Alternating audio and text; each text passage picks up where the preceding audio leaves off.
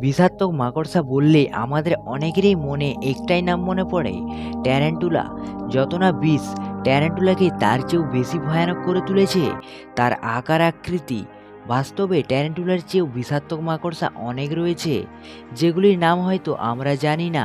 নাম জানলেও সেগুলি যে ট্যারেন্টুলার চেয়েও বিষাত্মক মাকড়সা হতে পারে, সে সম্পর্কে কোনো ধারণা আমাদের কারোরই নেই। মিশর এবং দক্ষিণ আফ্রিকার মরু অঞ্চলের ক্যামেল স্পাইডার, উত্তর আমেরিকার হোমো স্পাইডার, অস্ট্রেলিয়ায় মাউন্ট স্পাইডার, ব্ল্যাক উইডো এমন অনেক প্রজাতির নাম বলা যেতে পারে, যেগুলির বিষ ট্যারেন্টুলার চেয়েও মারাত্মক। নাম্বার ফাইভ, উত্তর আমেরিকার বাসিন্দা এই মাকড়সাটি বিশ্বের সবচেয়ে বিষাক্তক মাকড়সার তালিকায় স্থান পেয়েছে।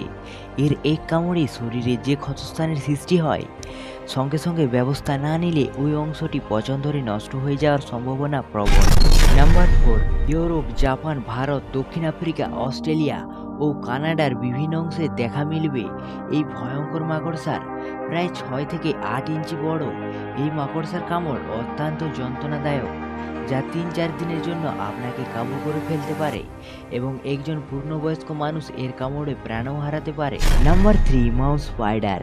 Australia এবং চিলিতেই মূলত দেখা যায়, এই বিশাল আকারের মাকড়সারা ইঁদুরের মতো এরাও মাটিতে গর্ত করে তার ভেতর বাসা বাঁধে। এর কামড় বেশ যন্ত্রণাদায়ক মাউস স্পাইডার অ্যান্টিভেনাম তৈরির ক্ষেত্রে বেশ কার্যকর। তবে যদি বিশ্বের সবচেয়ে বিষাক্ত মাকড়সার কথা বলতে হয়, তাহলে সেটি হলো অস্ট্রেলিয়ার রেডব্যাক স্পাইডার। বিশ্বের সবচেয়ে বিষাক্ত মাকড়সার তালিকায় এর স্থান সবচেয়ে উপরে। গবেষকদের মতে, একজন পূর্ণবয়স্ক মানুষকে ধরাশায়ী করার পক্ষে এই মাকড়সার বিষের চোদ্দ হাজার ভাগের এক ভাগেই যথেষ্ট। তবে বিষাক্ত মাকড়সাটি লম্বায় মাত্র zero point four inch. Redback স্পাইডারের আকৃতি একটি দেশলাই খাঁটির বারুদের অংশের মতোই।